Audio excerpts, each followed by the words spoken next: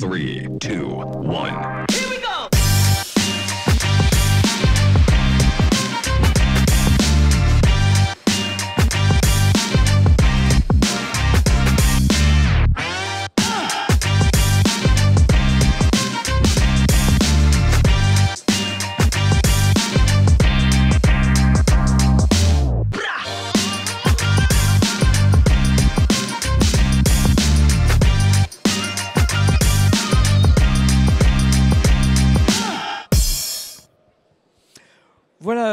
commence notre euh, séquence consacrée à l'eau et l'adaptation au changement climatique, basée sur des solutions dites fondées sur la nature.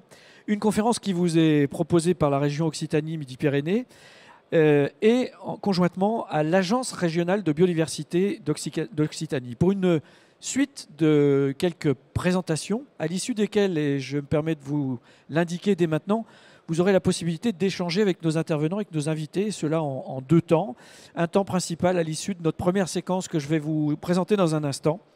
Et pour ce faire, je vais inviter à me rejoindre sur cette estrade cinq premiers invités qui constitueront le premier panel, la première séquence de cette conférence. Madame Morgane Viltard, qui est animatrice régionale Occitanie concernant les solutions d'adaptation fondées sur la nature et du projet Life intégré artisan, dont elle nous dira peut-être quelques mots. Madame Sylvie Gégaud, qui est chef de service biodiversité, agriculture, milieu aquatique et cartographie de la direction des interventions de l'expertise de l'eau et des milieux à l'agence de l'eau à Dour-Garonne. Monsieur Geoffrey Didier, qui est chargé de projet hydromorphologie et zones humides au syndicat du bassin du Lèze. Monsieur Thomas Brenning, qui est directeur du SMIVAL, le syndicat mixte interdépartemental de la vallée de la Lèze. Et enfin, Monsieur Joël Trémoulet, qui est directeur du syndicat du bassin du Célé, Lot Médian. Voilà, messieurs, voilà, je vous propose de vous installer euh, dans la partie euh, centrale de cet espace. Je serai près de vous. Je vous laisse euh, prendre place. Le temps pour moi de euh, vous indiquer euh, que nous allons parler, comme vous savez, de ces solutions fondées sur la nature ou solutions d'adaptation fondées sur la nature selon les différentes séquences et selon les explications que nous donneront les intervenants. Alors comme vous le savez, protéger, restaurer et gérer de manière durable les écosystèmes naturels pour retrouver leur fonctionnalité écologique, tel est le principe de base de ces solutions fondées sur la nature. Un terme qui a le mérite d'être parfaitement clair et qui donne de la visibilité à de nombreuses pratiques concrètes et efficaces qui sont souvent sous-estimées mais qui méritent une attention particulière. C'est ce que nous allons faire ensemble concernant ces solutions fondées sur la nature qui ont pour objectif de préserver cette biodiversité tout en assurant le bien-être humain. Les choses ne sont pas du tout incompatibles, au contraire, face aux enjeux actuels d'adaptation au changement climatique, aux enjeux d'urbanisation, de partage des ressources naturelles ou encore de disparition de la biodiversité. Entre décryptage et des illustrations concrètes de quelques mises en œuvre territoriales, notre tour d'horizon nous permettra de partager euh, quelques réflexions autour de ces solutions et de proposer quelques pistes concrètes, là aussi, pour un cadre propice à leur déploiement. Voilà pour euh, ces propos introductifs euh, qui posent le cadre de nos échanges auxquels vous pourrez participer et contribuer, comme je vous l'y invitais précédemment. Nous allons donc commencer par cette séquence de, décryptage. De quoi parle-t-on en réalité en matière de solutions d'adaptation fondées sur la nature en lien avec l'eau Et c'est Madame Viltard ainsi que Madame Gégaud qui vont nous en parler. Madame Viltard, donc animatrice régionale pour euh, les solutions euh, d'adaptation fondées sur la nature pour l'Occitanie, euh, et Madame Gégaud, chef de service biodiversité, agriculture, milieu aquatique, cartographie de l'agence de l'eau à Dour-Garonne. Vous nous direz, mesdames, les multiples bénéfices, bien sûr, que ces solutions peuvent apporter en regard de la gestion quantitative et qualitative de la ressource en eau, et a fortiori dans un cadre, dans un contexte de changement climatique. Mais aussi probablement quelques mots, si vous en êtes d'accord, sur un certain nombre de bénéfices connexes, puisqu'il n'y a pas que cela, évidemment, en matière de biodiversité, comme nous l'avons dit, mais aussi de bénéfices sociaux, sanitaires, voire économiques. Je vous laisse nous en dire plus, ce sera la séquence introductive, le décor de nos échanges, et je reviendrai ensuite euh, vers vous pour euh, des questions éventuelles, mais pour une suite également d'illustrations concrètes qui nous seront procédées tout de suite après par les, euh, vos voisins de table. Bonjour à toutes et à tous. Tout d'abord, euh, merci beaucoup pour euh, l'invitation à intervenir euh, dans le cadre de ce salon euh, Cyclo. Euh, avant toute chose, avant de parler de solutions d'adaptation au changement climatique fondées sur la nature, euh, Il y a un pointeur, d'accord. Voilà, vous avez la télécommande, le bouton vert pour avancer, le bouton rouge pour Merci reculer. beaucoup. ok. Euh, Est-ce que vous, vous voyez les, les- sur les côtés Ok, super. Donc, avant de parler de solutions d'adaptation au changement climatique euh, fondées sur la nature, je pense qu'il est important de recontextualiser et de euh, parler, en plus, dans notre contexte régional, de, changement climatique. Donc, le changement climatique, il est déjà amorcé en Occitanie. On a pu le voir à travers euh, différents faits d'actualité, mais il va également s'intensifier. Euh, pour donner quelques chiffres, on vise à l'horizon euh, 2050 euh, une augmentation de plus 2 à plus 3 euh, degrés, donc euh, augmentation en température moyenne. Il faut savoir qu'aujourd'hui, on est à plus 1,8 euh, degrés euh, en plus sur la, période 2001-2020 euh, comparée à 1901 à 1920. On va également euh, faire face à une augmentation, une élévation euh, du niveau de la mer à plus 1 mètre à peu près euh, d'ici euh, 2100.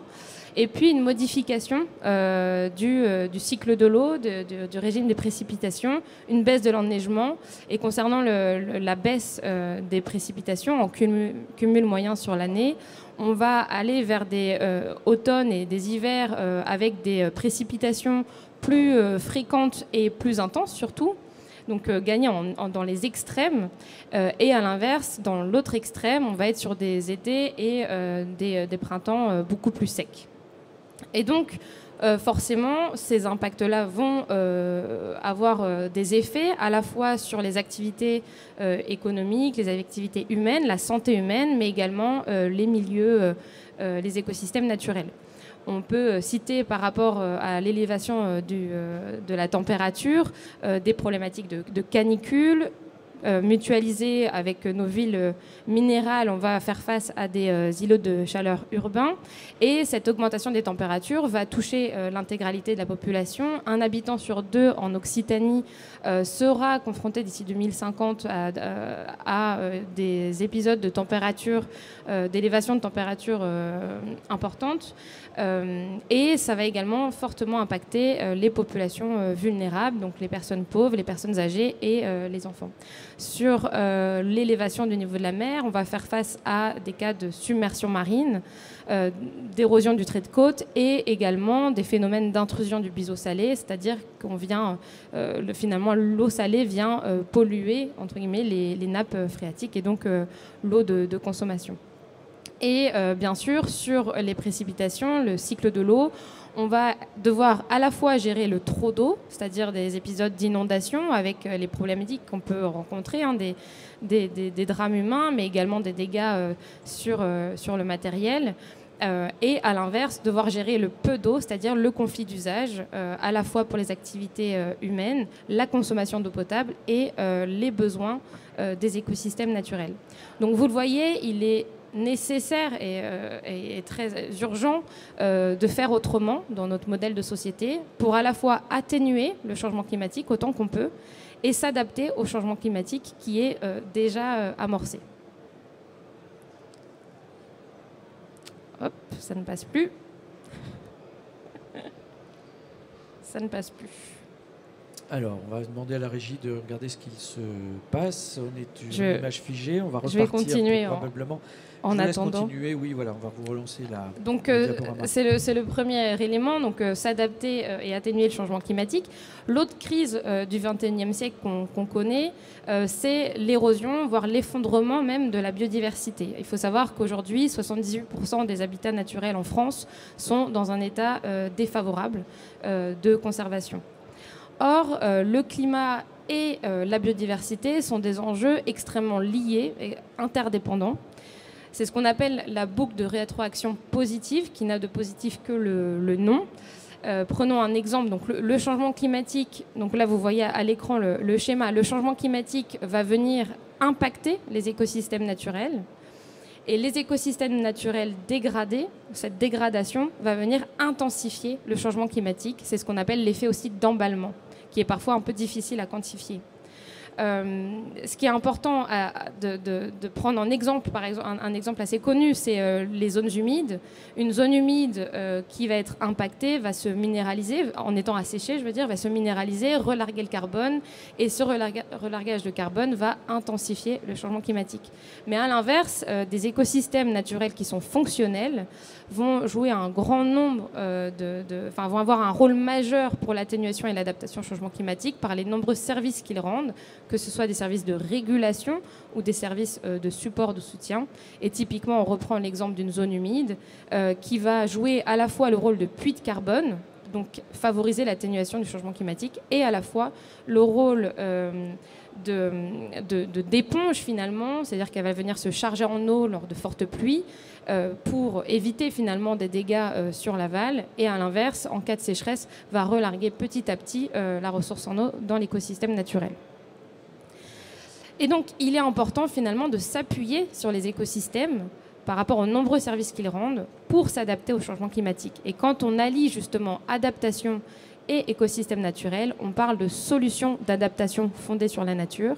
Les solutions d'adaptation fondées sur la nature, autrement dit SAFN, sont définies par l'UICN, l'Union euh, internationale de la conservation de la nature, comme étant des actions, ça c'est un élément fort euh, de la définition, des actions de protection, gestion ou restauration des écosystèmes naturels. Ça, c'est le deuxième pilier important, l'écosystème naturel, dans l'intention de relever le défi de l'adaptation au changement climatique, donc de réduire la vulnérabilité d'un territoire au changement climatique, tout en assurant à la fois le bien-être humain et apporter un co-bénéfice pour la biodiversité en recréant des écosystèmes euh, naturels fonctionnels. Et on parle de gain net de biodiversité, donc tout ce qui va être séquence ERC, euh, éviter, réduire, compenser. Donc les mesures compensatoires ne sont pas intégrées dans les SAFN puisqu'on n'apporte pas un gain net de biodiversité. Donc ces solutions, les SAFN, sont vraiment des solutions qui sont concrètes et qui permettent de répondre à la fois au double enjeu biodiversité et climat, tout en apportant un grand nombre d'autres services, que ce soit euh, des, services euh, économiques, en réduisant les coûts pour les collectivités, par exemple. C'est souvent des solutions moins coûteuses sur le long terme, en apportant des, gains aussi pour euh, la santé humaine, pour le, côté social, d'apporter des, espaces paysagers de convivialité, et puis aussi pour le culturel, le patrimoine paysager. Et Sylvie euh, Gégaud reviendra justement sur, cette question de multiples co-bénéfices. Et donc pour finir, il est primordial de généraliser le recours au SAFN euh, en première intention. Aujourd'hui, on a tendance à les considérer en solution alternative. Or, il faudrait justement les considérer en première intention et compléter, si besoin, avec de l'ingénierie grise pour répondre aux objectifs qu'on n'aurait pas atteints. Voilà, je laisse la parole maintenant à Sylvie. Pardon. Oui, bonjour à tous.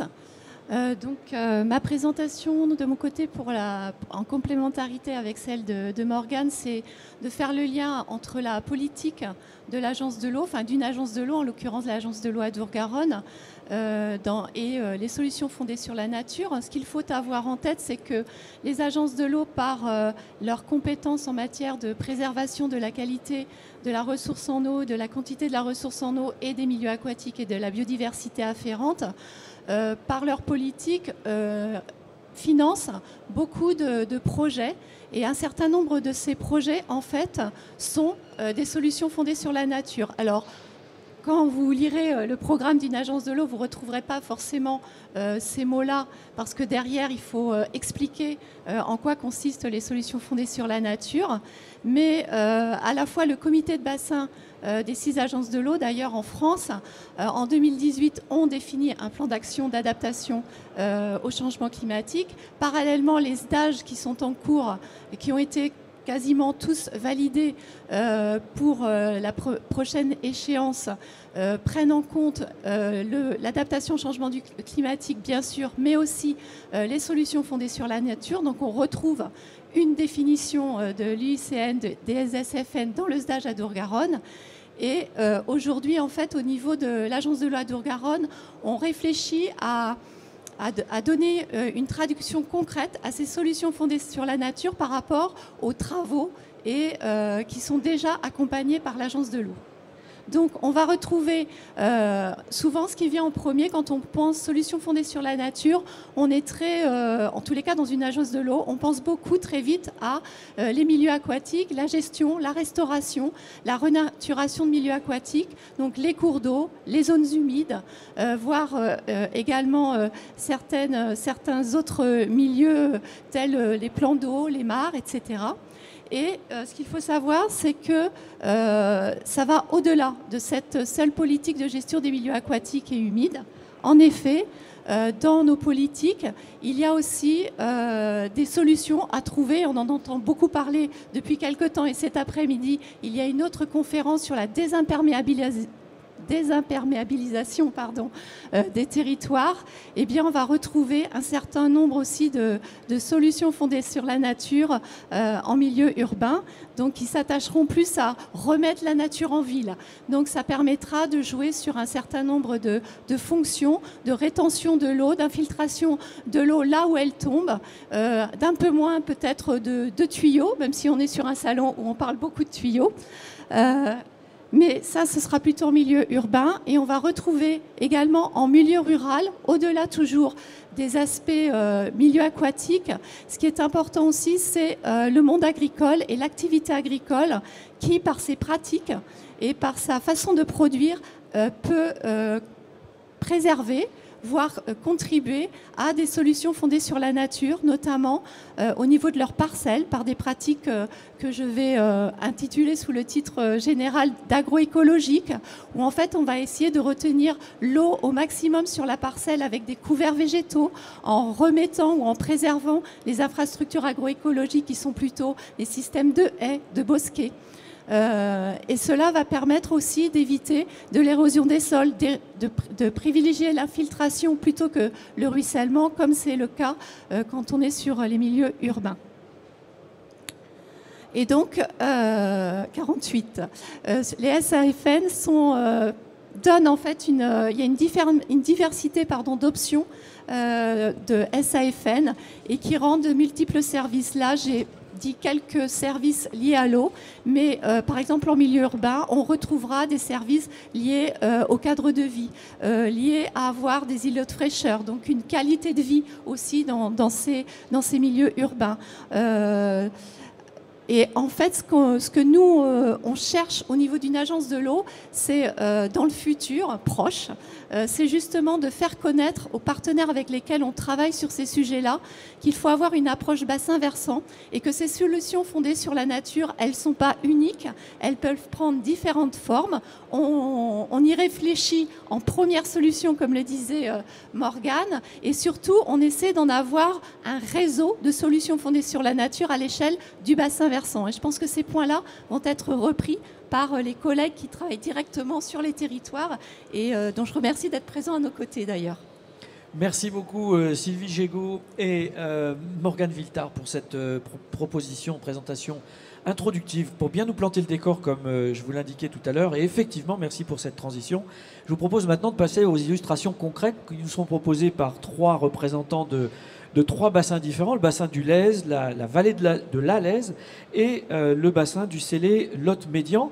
Et pour ce faire, euh, vont se succéder M. Didier, M. Brenning et M. Trémoulet. Pour commencer, Geoffroy Didier, si vous le voulez bien, euh, vous êtes chargé de projet hydromorphologie et, zones humides de ce syndicat du bassin du Lèze et vous allez nous faire une présentation de cette restauration d'une partie d'une prairie alluviale de la Mosson sur ce bassin versant du Lèze euh, une zone humide euh, au service finalement de, votre collectivité ou de la collectivité en général.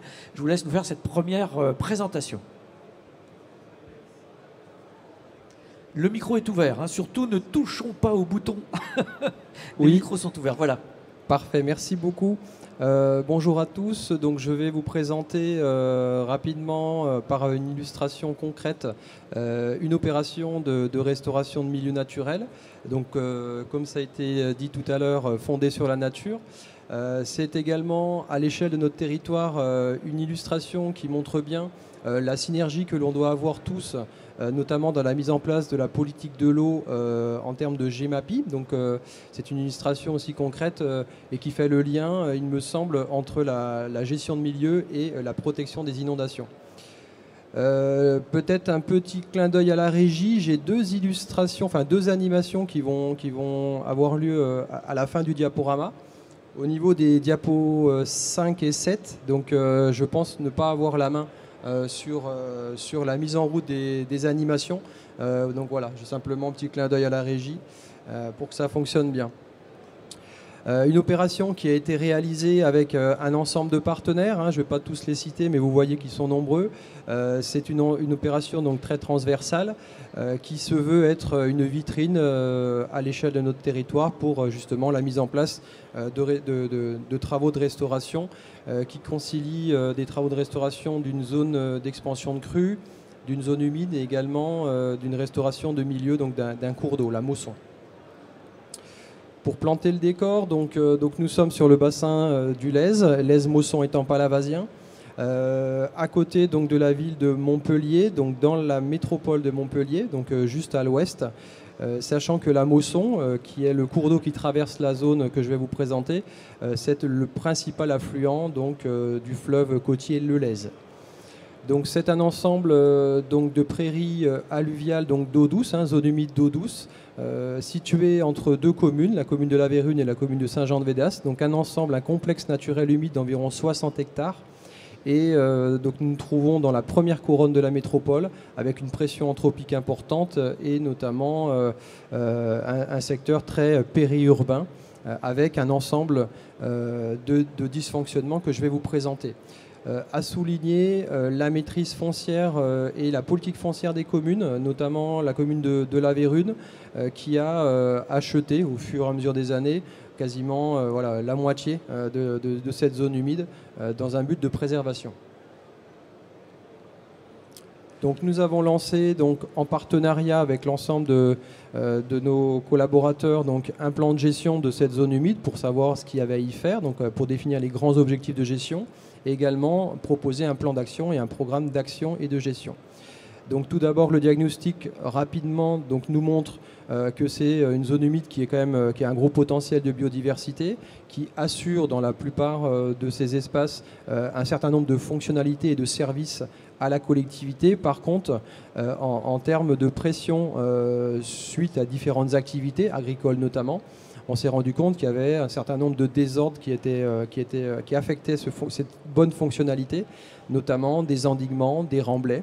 Euh, des berges qui ont été rectifiées. Donc on a souhaité lancer sur une parcelle d'un peu plus de 5 hectares, donc qui représente quasiment 10% de la surface globale, donc une opération virtueuse de, restauration globale.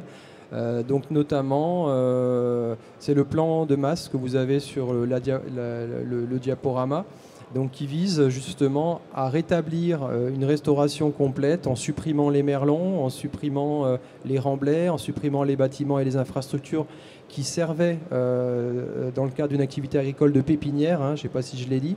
Donc du coup, voilà, un ensemble d'actions que je vais vous présenter un peu plus en détail.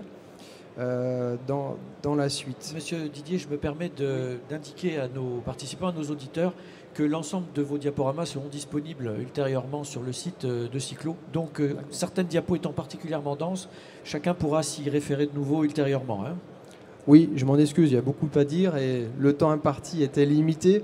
Donc euh, on essaye de faire au mieux. En termes d'aménagement, je l'ai dit, donc un certain nombre de merlons qui étaient enlevés. Certains faisaient plus de 3 mètres de haut. On peut même parler de digues. Euh, donc ça a eu comme bénéfice, vous l'avez, je, les cite rapidement, la réactivation d'une zone de 5 hectares de zone inondable. Euh, pour information, le modèle hydraulique a démontré un gain euh, de moins 10 cm sur les enjeux bâtis de proximité et notamment sur l'infrastructure routière qui était à proximité. Donc plutôt un service en termes d'inondabilité qui, est plutôt intéressant. L'évacuation des remblais, plus de 50 000 m3, avec deux bâtiments qui ont été cassés, deux serres, voilà, une désimperméabilisation d'un demi-hectare. Euh, une dépollution, parce qu'il y avait des, choses qui étaient, euh, qui étaient euh, à vocation à être redirigées vers des plateformes de recyclage. Et puis une restauration de cours d'eau avec des reprofilages sur à peu près 600 mètres linéaires. donc un gain hydromorphologique fort pour le cours d'eau Mosson. qui était complètement incisé. Donc voilà, donc on a mis en place des indicateurs pour ce faire. Et puis, du coup, une mosaïque d'habitat qui a été créée, notamment euh, bah, une création de zones humides de plus de 5 hectares, hein, qui, avait été retirée de l'inventaire des zones humides. Donc, du coup, là, on va pouvoir, à la prochaine révision, le réintégrer. et notamment donc des, bénéfices multiples compte tenu de la mosaïque d'habitat qui est recréée et, des milieux propices pour le développement d'une faune et d'une flore spécifique et également suite à, un échange avec la population, une zone qui a été également créée pour la détente avec un sentier pédagogique et, un parcours qui va dans ce sens. C'est là où j'appelle la régie sur euh, la mise en place de l'animation que je pourrais commenter, si, euh, si on peut lancer l'animation s'il vous plaît.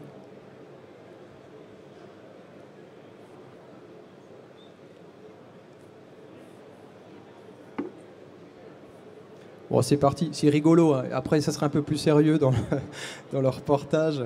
Donc, on a, on a effacé donc, euh, les bâtiments, on a effacé les voiries, les infrastructures, on a euh, dévoyé les, différents réseaux, EDF. Euh, donc on a supprimé les merlons, on a reprofilé les berges pour redonner de la connectivité. donc on a retrouvé cette zone inondable, hein, reconnectée. On a retravaillé sur les plantations, sur des choses qui sont adaptées au climat prélevé sur site. Et puis donc on est venu terminer par une mare et un bras mort et une, zone, euh, une zone piétonnière avec une zone d'accueil. Merci. En termes de pilotage, donc, euh, sur notre territoire, donc, on, a travaillé en délégation de compétences euh, de, la GMAPI, donc études et travaux, en commitrice d'ouvrage avec une commune. 2020, études, projet, conception, avec la portée réglementaire. Et puis 2021, 7 mois de travaux. Euh, ce qu'on peut dire, c'est que le site, euh, finalement, après chantier, euh, est un site qui a été complètement renouvelé avec un état de nature retrouvé et un ensemble de fonctionnalités hydrauliques, biologiques au service de notre collectivité. Financement d'opération, 1 300 000 TTC avec Occitanie, donc région Occitanie 20%, agence de l'eau 60 et taxe GEMAPI à hauteur de 20%. Et j'appelle une nouvelle fois la régie pour le lancement de petit, cette petite vidéo.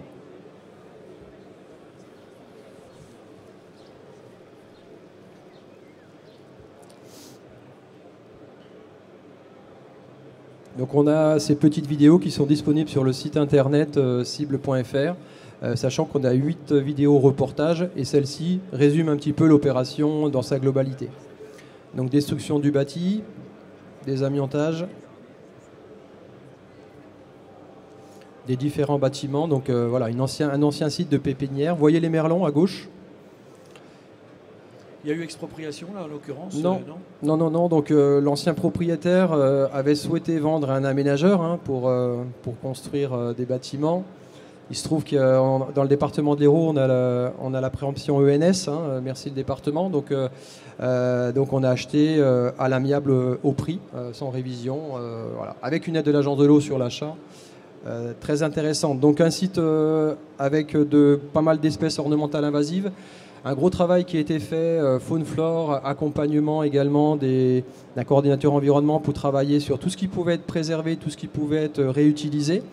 Euh, donc euh, tous les végétaux invasifs ont été traités dans les filières appropriées. Tous les végétaux qui ont pu être récupérés ont été récupérés par les pépinières ou les collectivités du bassin versant. tous les végétaux qui ont pu être broyés sur site pour faire de l'amendement de sol en matière organique ont été, ont été broyés et réutilisés pour l'amendement. Voilà, ça illustre ce que je vous dis. Donc une opération un peu virtueuse euh, par rapport voilà, au cycle carbone, par rapport à, un ensemble de, matières premières finalement qu'on a souhaité réutiliser sur site. On là on rentre dans le, dur des travaux. Donc terrassement, 50 000 m3 c'est beaucoup hein, euh, sur une zone comme ça. Euh, donc pas mal d'évacuation. Donc on a stocké en évacuation que 5000 m3, ça veut dire qu'on a réutilisé plus de 45 000 m3 euh, qui ne sont pas partis en carrière dans le cadre d'autres projets d'aménagement sur le bassin versant en lien avec les services de l'État et euh, les entreprises qui étaient mandataires. Donc le reprofilage du cours d'eau. Avant-après, voyez les merlons, plus de 3 mètres de haut sur la partie euh, gauche, des merlons qui étaient qui permettaient de protéger quand même l'exploitation sur des débits centenales. Hein. L'ancien propriétaire avait fait les choses bien. Réutilisation donc euh, par renappage des, terres de surface qui ont été réutilisées. Création donc d'une annexe fluviale et d'une mare. Vous voyez, voilà euh, la vue après travaux. Et donc création après échange avec la population donc d'un sentier pédagogique et d'un lieu de détente pour que les gens puissent se réapproprier ce site qui leur appartient. Donc voilà, l'idée c'est de faire vraiment une nature partagée et c'est la vocation de ce site. Et il y a d'autres films qui sont, si vous voulez la suite, hein, euh, sur la végétalisation et le génie écologique mis en place. Donc il y a d'autres choses à voir euh, dans un second temps, en dehors de, de cette conférence. Merci. Merci à vous, euh, Monsieur Didier, pour cette illustration. Bravo pour votre présentation particulièrement bien illustrée, notamment.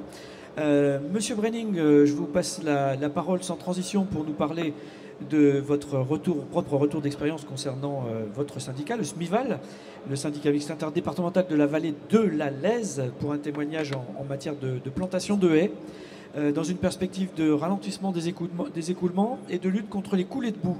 Voilà, je vous laisse nous présenter tout ça également euh, à, l'aide de votre euh, diaporama. Vous nous direz notamment quelle expérience vous retirez de ces solutions d'adaptation fondées sur la nature que vous avez désormais acquises dans cette vallée euh, de la Lèze et comment euh, cette démarche a été accueillie localement aussi. Ça peut nous intéresser pour celles et ceux qui auraient des velléités de vous imiter. Merci. Merci. Et, alors, je vais démarrer. Non. Alors, voilà. Je vais démarrer donc juste par un, petit mot, puisque j'assure aussi la, présidence de l'AITF Midi-Pyrénées, donc l'Association des ingénieurs territoriaux de France, et les solutions d'adaptation fondées sur la nature. On a abordé le sujet récemment donc en, comité euh, régional avec quelques collègues pour voir euh, comment c'était appréhendé. Alors, euh, l'essentiel des collègues euh, ont, ces notions de ce que c'est que ces, solutions d'adaptation fondées sur la nature, parce qu'ils ont eu l'occasion de les mettre en œuvre sur un certain nombre d'aménagements urbains, sur des nous, sur des fossés drainants, sur euh, de l'infiltration à la parcelle, dans le cadre de la gestion des eaux pluviales, par exemple. Et puis d'autres collègues qui sont un peu plus novices dans le sujet. Donc, il y a peut-être encore un travail de communication, d'information et de sensibilisation pour développer ces solutions fondées sur la nature. Effectivement, je vais vous présenter euh, une expérience un peu plus euh, personnelle, puisque euh, au niveau de la vallée de la Lèze, donc on a, un syndicat qui travaille sur cette vallée, et on a mené une politique de plantation de, haies dans la vallée de la Lèze. Donc je vais vous présenter cette démarche qui a été menée sur une dizaine d'années. Cette vallée de la Lesse, c'est une vallée qui est particulièrement soumise aux inondations et aux coulées de boue. C'est un des territoires de, l'Occitanie qui est le plus touché avec euh, les basses plaines de l'Aude et puis euh, le secteur de Saint-Béat dans les Pyrénées. Avec des, quand on rapporte les dégâts par habitant, en fait, on se retrouve avec des montants très élevés euh, en termes de dégâts par habitant. Donc ça, fait partie des, voilà, des territoires très, très concernés par les inondations. Avec encore des épisodes très spectaculaires assez récemment. Et, en janvier, on avait encore une crue qui s'est déroulée. Euh, et, donc euh, de l'ordre de, de 4000 à 6000 habitants qui sont potentiellement impactés par, euh, par les inondations. Et des dégâts qui sont de l'ordre de plusieurs millions d'euros de, en, cas de soit de crues, de, débordements de cours d'eau, soit de, coulées de boue. Alors, face à ces, phénomènes, ces phénomènes violents, les, élus avaient une perception assez étrange de dire euh, les coulées de boue sont de plus en plus fréquentes sur ce territoire, euh, les ruissellements sont de plus en plus rapides et les haies disparaissent de plus en plus vite. Et donc, euh, on a voulu objectiver cette perception des élus au travers d'un certain nombre d'analyses et on a constaté qu'effectivement, sur les 30 années de 1980 à, 2006, on a eu à peu près 10 km par an de haies qui ont été arrachées, qui ont disparu sur cette vallée. Et ça a donné l'envie aux, élus de, la vallée de proposer, de mettre en place euh, euh, une politique un peu, incitative, un peu plus incitative que l'existant en tout cas, euh, pour favoriser la plantation ou la replantation de haies, hein, puisque vous voyez que sur les 300 km, c'est-à-dire quasiment un quart des linéaires qui avaient disparu, il y avait cette nécessité de pouvoir lutter contre la tendance générale. Et donc, sur la période 2008-2018, le syndicat s'est impliqué sur une politique de, replantation de haies. Alors ça concernait à la fois les aspects techniques, les aspects administratifs, les aspects financiers, la gestion du foncier, la concertation avec euh, les propriétaires, avec les agriculteurs, les relations avec les administrations. On a mené tout tout ce processus euh, et en s'appuyant aussi sur tout un tas d'expériences et de connaissances qui étaient déjà largement acquises sur le territoire. Notamment, euh, il faut saluer tout le travail historique des associations de planteurs de haies, notamment Arbre et Paysage d'Autan, qui ont fait énormément sur, euh, sur cette thématique. Et, tout ça, ça nous a permis finalement, avec les, chambres d'agriculture, avec, avec les, cofinanceurs, eh de mettre en place un, un dispositif en faveur de la plantation de haies. Le bilan sur 10 années de, de travail, d'animation, puisque c'est une des clés de- finalement de, ce dispositif, c'est un travail d'animation euh, sur le terrain, au plus près des, euh, propriétaires et des, exploitants agricoles. Et bien, on a pu replanter une trentaine de kilomètres, donc ça représente à peu près 50 000 plants, hein, selon le nombre de rangs qui sont, réalisés, pour un montant à peu près de, de 300 000 euros à la fois des haies, ce qu'on a appelé les haies brise-crues, qui sont installées en fond de vallée, avec cet objectif de ralentir les crues quand elles sont déjà formées dans le fond de vallée. Et puis également, euh, c'est un dispositif qui a été élargi en cours de programme au coteau euh, pour essayer de freiner les ruissellements le plus tôt possible dès qu'ils se forment sur les coteaux, avec euh, du coup euh, 27 km, donc un- une grande majorité des linéaires qui ont été plantés sur les coteaux pour intercepter les ruissellements, donc ce qu'on appelle le- sur les chemins de l'eau en fait. Et vous voyez ensuite avec le dernier graphique l'évolution euh, plus récente. Alors à prendre avec beaucoup de précautions, hein, parce que euh, autant l'évolution euh, euh, l'évolution sur les 30 premières années, bien, on, a, du temps long. Par contre, sur la, période 2006-2016, on est sur un- une période relativement brève d'analyse. Donc euh, c'est une analyse qu'il faudrait compléter sans doute, mais on aurait une stabilisation des linéaires dans la vallée. Ça reste à vérifier parce que récemment, on a encore eu, bah, tous les ans, on constate hein, des, arrachages de haies euh, dans, la vallée. Donc on a ce besoin quand même de, continuer à suivre l'évolution et voir si la tendance est effectivement la stabilisation ou si, ça évolue dans d'autres sens.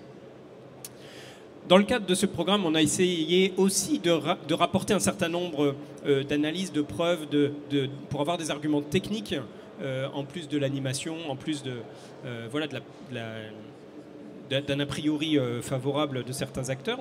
On a essayé aussi de, donc, de mobiliser des analyses hydrologiques, d'essayer de voir ce que la haie pouvait apporter en termes de euh, frein à l'écoulement. Donc si on passe effectivement d'un territoire de grande culture à un territoire de bocage, on pourrait avoir un, impact sur les crues. La difficulté, ça serait de réussir à mettre une haie tous les 300 mètres. Et ça, au niveau foncier, c'est particulièrement compliqué à obtenir. Donc on, retombe sur une, question de fond hein, qui a été abordée, c'est la question du foncier. Et puis ensuite, euh, avec de la modélisation hydraulique de dimension, on a pu montrer euh, l'impact des, des linéaires de haies sur la propagation des crues. Euh, C'était des éléments où à l'époque on avait assez peu de, bibliographie, où on a pu montrer que euh, finalement les haies elles avaient tendance à ralentir de l'ordre de 10% hein, la propagation des crues. Et gagner, euh, gagner une heure sur l'alerte dans une commune, c'est quelque chose d'important si on veut pouvoir se préparer. Ce qu'on a pu montrer aussi, c'est ou, ou re- redémontrer, puisque c'est des, éléments qui étaient connus dans la bibliographie, mais on a pu le voir localement. Ça nous a permis d'avoir un démonstrateur local. C'est que ces, linéaires de haies, ces zones tampons, elles ont une efficacité sur les petits épisodes orageux. Finalement, ce qu'on rencontre euh, tous les ans, tous les deux ans, les coulées de boue, les petits ruissellements, on a vraiment un effet de piégeage de, la coulée de boue en bas de parcelle grâce aux, aux bandes tampons, aux, aux- aux bandes enherbées ou, ou aux linéaires de haies. Et tout ça, ça évite euh, les coûts euh, récurrents de nettoyage sur les voiries communales ou, ou- ou pour les habitants. Et pour conclure, euh, quelques éléments de perspective.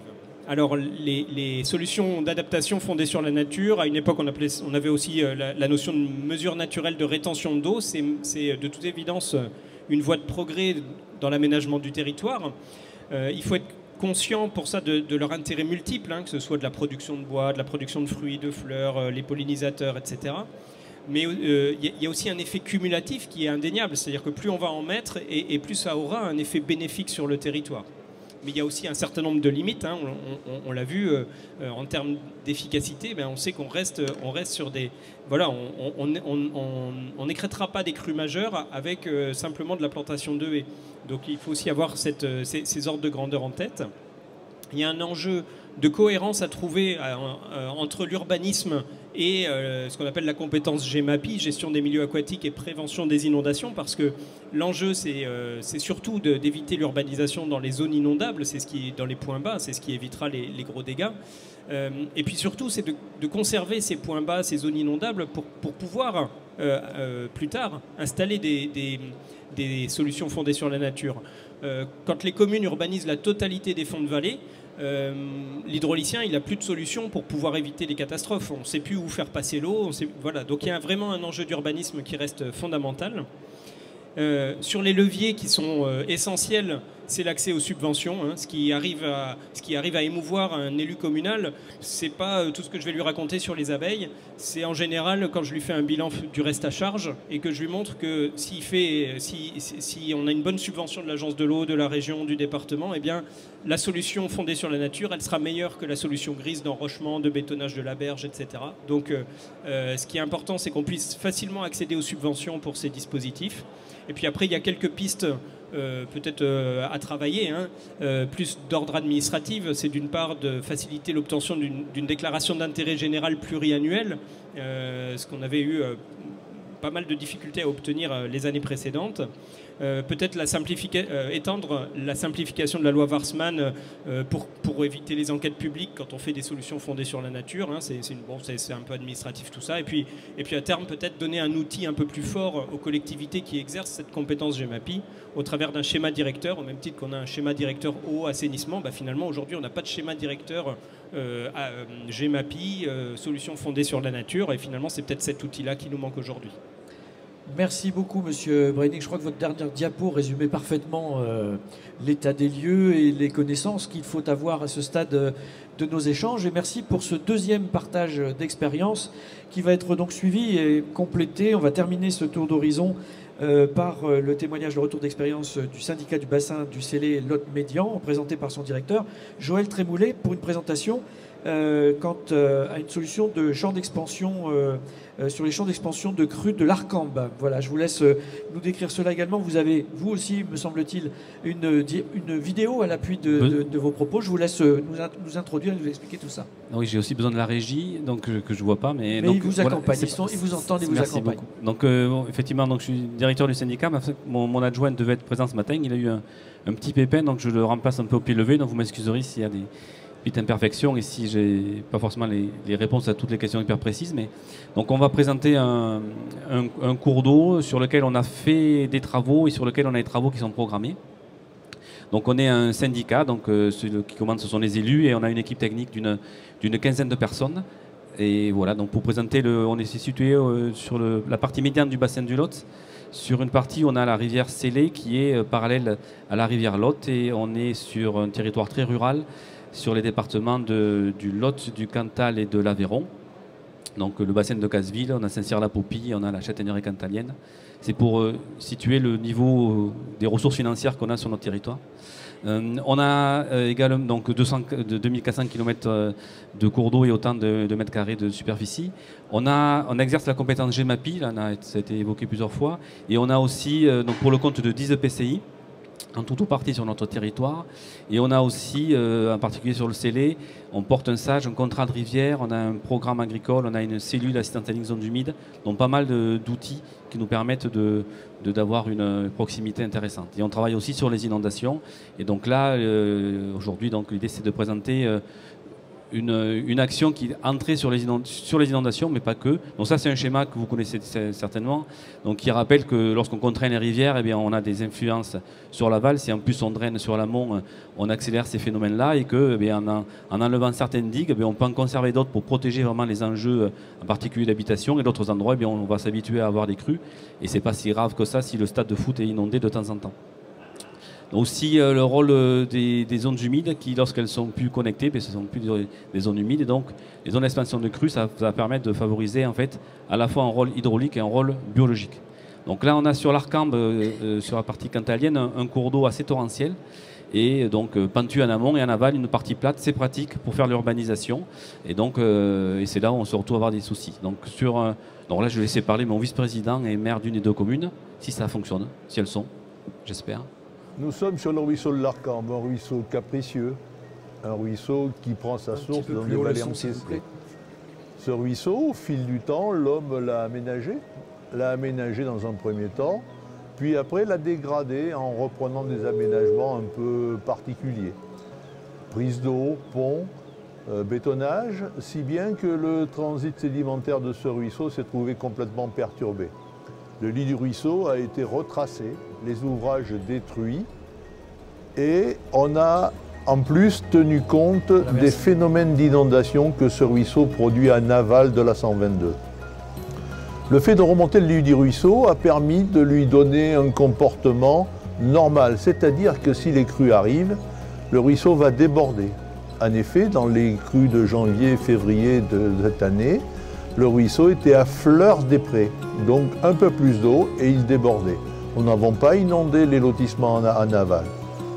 Donc le rés- résultat est conforme à ce que nous attendions. La végétation, la végétation qui a été ajoutée ben, a pris le dessus sur les espèces envahissantes. Aujourd'hui, le résultat semble remarquable. Donc voilà pour, euh, illustrer le propos de, de mon vice-président. En fait, c'est issu d'un film qu'on a fait sur différents travaux euh, de ce type-là sur le, sur le bassin. Il n'y en a pas tant que ça quand même. Euh, euh, pour illustrer, en fait, au départ, euh, il y avait la volonté d'avoir une route pour aller sur quelques maisons. Donc un pont a été fait. Pour faire passer l'eau sous le pont, eh ils ont creusé dessous et fait un seuil en amont. Donc on est parti de ce, problème-là et qui a généré des problèmes en aval. Donc pour résoudre les problèmes, on est reparti, mais on a, on a cassé le seuil et du coup on a cassé le pont. Il a fallu refaire un pont. Donc on travaille sur les milieux aquatiques, mais on fait aussi, comme nos collègues, pas mal de génie civil. Il fallait aussi quand même conserver la route, donc on a, protégé la route et sur l'autre rive, on a, euh, essayé de, pouvoir euh, tout faire pour qu'une ripisylve s'im- s'implante avec des techniques douces, douces pardon, bouturage, replantation. Donc ça a fonctionné, on l'a vu dans le film. Et le pont avec une section euh, favorable suite à une étude hydraulique. Ensuite, en termes d'hydromorphie, en aval, donc, comme évoqué, donc, on avait euh, le fait d'avoir creusé des incisions, donc les berges qui, partent avec la ripisylve. Et donc on a, euh, et, et cette incision fait passer un débit plus important que normal. Et donc eh bien, on a simplement, entre guillemets, rechargé sur plus de 400 mètres euh, le cours d'eau, donc apport de matériaux, pour retrouver un lit à sa hauteur à peu près naturelle, en s'assurant un certain méandrage, donc en renforçant de façon assez douce pour faire, refaire du reméandrage, qui nous permet aussi de diversifier les habitats. Donc il y a aussi un, enjeu euh, par rapport euh, au milieu aquatique.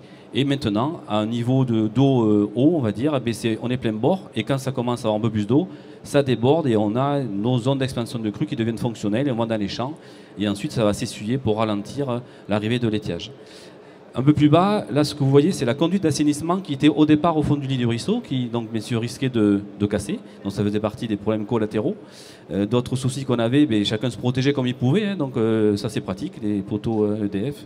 Ça permet de. Mais bon, bien sûr, en aval, on, accentue le- les phénomènes d'incision et d'érosion des berges en aval.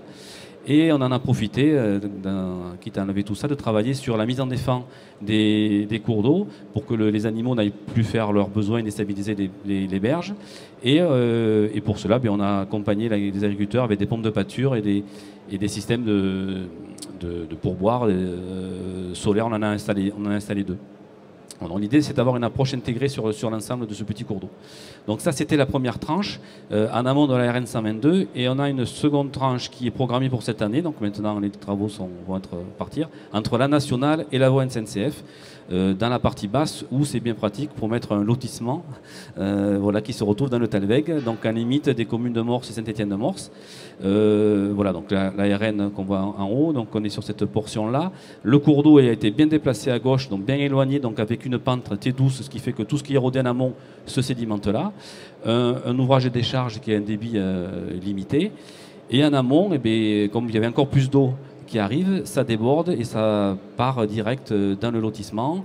Euh, Même le- l'eau qui est détournée, endiguée, euh, va taper contre les- les murets et donc aussi des soucis de continuité écologique. Et les digues qui se retrouvent euh, trop serrées, en fait, eh des érosions de la digue. euh, et euh, là, c'est sous le skatepark, de l'autre côté, avec des risques de rupture à chaque crue, mais pas, même, pas des crues décennales, des risques de, de rupture. Et bien sûr, la renouée du Japon qui s'installe là, et puis des dépôts de matériel. Donc on retrouve un petit peu la même, la même un petit peu caricature. Donc aujourd'hui, le projet, c'est simplement de, sur la partie amont du lotissement, mais de retrouver, on va une capacité du, cours d'eau, avec euh, un petit cours d'eau en fond, mais un- un- une risberne, des, banquettes pour qu'en niveau moyen et à haute eau, on puisse tout entourner euh, dans la rivière, avec euh, une revégétalisation, création d'une ripisylve euh, pour éviter que ça aille dans, le pré. Et sur les enjeux vraiment, euh, sur la zone enjeu fort, eh bien, on va refaire la digue qui de toute manière est complètement obsolète, de la même façon en élargissant, en profitant que faire euh, du passage et pouvoir valoriser aussi ce sec- secteur-là pour les habitants euh, euh, de, ces, de ces deux communes replantant l'air répulsive et mettant le ruisseau, le remettant dans son talweg sur la partie, euh, sur la partie aval. Et donc rebouchant euh, la partie là qu'on a à gauche du ruisseau. Donc l'idée c'est aussi bien sûr de, que les agriculteurs puissent continuer à pâturer, hein, qu'on ne coupe pas sa parcelle. On est dans le Cantal, donc la terre euh, c'est sacré. donc, et on va pouvoir aussi là sur la partie gauche pouvoir avoir une, une vaste zone humide qui va pouvoir revenir euh, se, redévelopper. Donc là, c'est un peu la vue d'ensemble pour dire qu'on est quand même en zone urbaine, on travaille sur l'inondation et en fait, la solution a été de dire on va, euh, on va bien, en fait, euh, remettre un cours d'eau qui va avoir une pente globalement dans le même niveau que les pentes des cours d'eau qu'on doit avoir dans ce type de région. voilà, on remercie l'agence pour nous aider à faire ce genre de film. et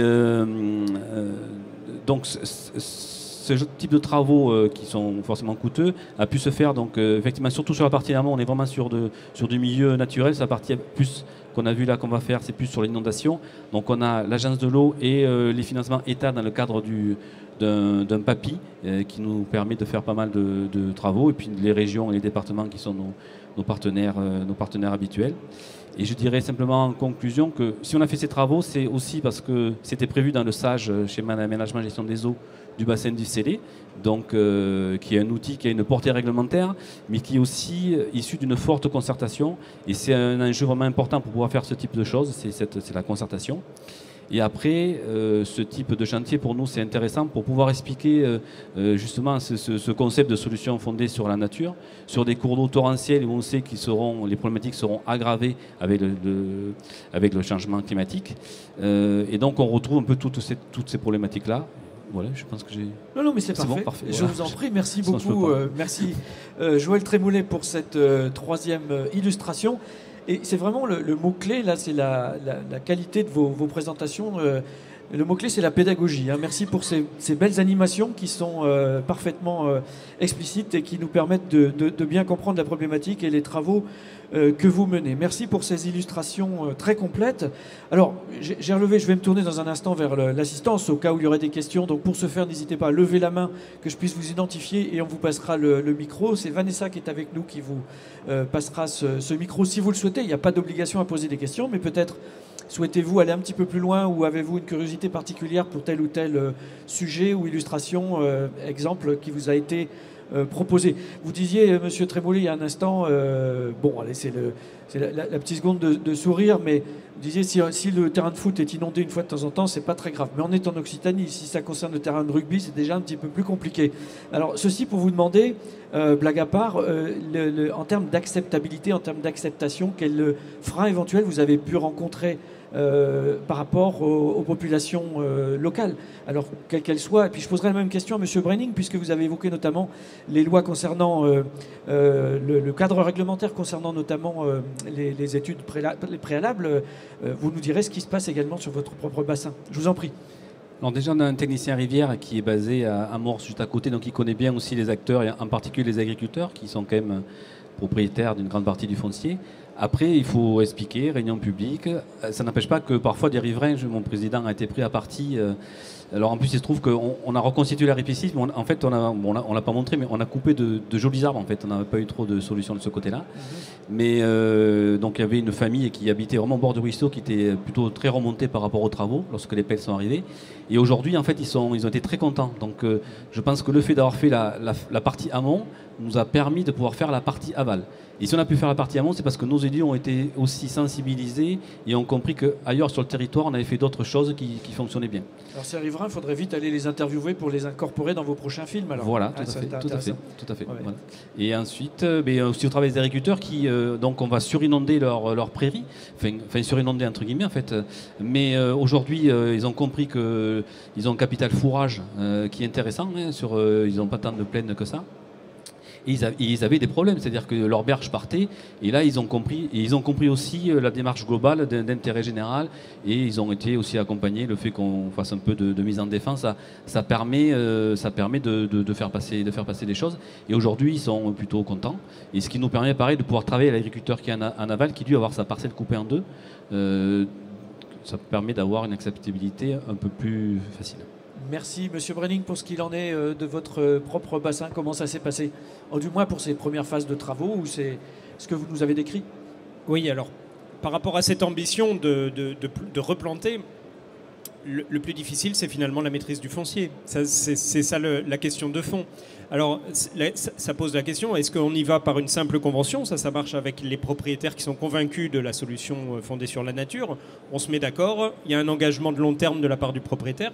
Ça marche tant que la parcelle n'est pas vendue. On a essayé d'autres dispositifs, l'acquisition foncière, la, location ou l'inscription euh, dans les servitudes, euh, dans les, d'une servitude aux hypothèques. Euh, c'est des solutions qui marchent pas très bien. Euh, et puis l'acquisition, en fait, la, question de fond, c'est combien la collectivité est prête à acheter un terrain pour y planter ou laisser repousser des arbres.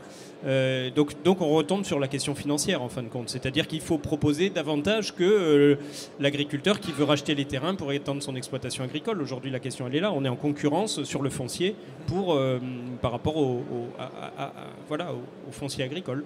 Donc pour, pour lever ces, ces- ces options-là, eh ben, il faut réussir à, à être euh, concurrentiel, il faut être plus compétitif que donc il faut de l'argent, il faut il euh, voilà des dispositifs, euh, je le disais, hein, du réglementaire. On, on- on a des schémas directeurs qui qui peuvent imposer le passage d'une canalisation, qui peuvent imposer un mode de traitement de l'assainissement, mais on n'a pas d'outils équivalents pour euh, pour euh, pour qu'une col- collectivité compétente en matière de GEMAPI puisse imposer euh, une infrastructure euh, verte. Juste sur cette même question des, riverains agriculteurs ou des agriculteurs concernés, euh, vous avez très bien décrit qu'on a d'abord commis un certain nombre d'erreurs, puisqu'à fini- finalement, un certain nombre de ces solutions d'adaptation fondées sur la nature qui, existent de très très longue date, mais on a effectivement, on orienté vers euh, une destruction progressive d'un certain nombre de dispositifs naturels comme les haies qui étaient en place depuis toujours. Eh, Quel est, à votre avis, est-ce qu'il y a- est-ce que- qu'on peut commencer à percevoir une certaine compréhension des aspects techniques, des bénéfices collectifs et techniques sur le plan agricole que peuvent en retirer les exploitants eux-mêmes? Est-ce que vous avez l'impression que ça évolue et si, si possible dans le bon sens? Je dirais que c'est très variable d'une exploitation à l'autre. Ouais. Ça dépend énormément du, très pers- du la type personnalité et du type d'exploitation, des orientations techniques de l'exploitation. Euh, le- le- le- on a pâti énormément de la disparition de l'élevage en réalité. Ouais, ouais, ouais. Et, et moi, les- chaque fois qu'un agriculteur, enfin qu'un éleveur m'a parlé de ces animaux, c'était pour me dire, bah, de toute façon, dans deux ans, j'arrête, parce que ça paye plus. Mm. Et, et ça, forcément, c'est terrible. Sur des coteaux qui sont à plus de 15% de pente, euh, s'il n'y a plus d'élevage, faire grand-chose eh ben, d'autre. voilà, la question de fond, elle est Bien là. sûr. Et y faire des céréales, c'est une catastrophe. Et quand on fait des céréales, parfois les SFN sont, sont très très simples à mettre en place, euh, dans la mesure du possible. Euh, ça dépend du niveau de pente que vous venez d'évoquer, mais effectivement, ne serait-ce que la manière d'orienter le labour euh, dans certaines circonstances, dans le sens de la pente ou euh, transversalement, on, voit bien que parfois il y a des résistances à ce simple type de- de technique ou de bonne pratique. Quoi. Oui, parce que les, les, les réponses sont pas si simples en fait. Madame Gégaud, je vous laisse intervenir pour partager un petit peu le temps de parole qui nous reste, mais je surveille en même temps la salle au cas où il y aura des questions. Et il y en a une d'ailleurs. Oui, je vais, je vais faire vite. Je voulais rebondir parce qu'effectivement, quand on intervient en milieu rural, forcément, on doit, euh, on doit faire avec euh, les activités agricoles et avec les acteurs agricoles qui sont présents. Et cette question, en fait, elle rejoint euh, une autre idée par rapport comment, comment on finance finalement euh, le maintien de ces infrastructures agroécologiques, les, cr- les recréer et les maintenir. Et euh, sur Adour-Garonne, on a testé en fait les paiements pour services environnementaux. Donc on parlait de co-bénéfices tout à l'heure. Finalement, quand on met une haie en place, il y a aussi des bénéfices pour l'agriculteur, mais l'agriculteur, en maintenant cette haie, en l'entretenant, ça permet aussi d'apporter des bénéfices finalement à la société. Et l'idée, les paiements pour services environnementaux, c'est ça, c'est de reconnaître aussi les services rendus par l'activité agricole, notamment euh, pour des bénéfices environnementaux, et de leur apporter une rémunération. Ça a été testé sur euh, Adour-Garonne, on est à la troisième année de test. Il y a vraiment une reconnaissance euh, de ce dispositif par les agriculteurs. Avec la nouvelle PAC, on n'est pas certain de pouvoir le maintenir.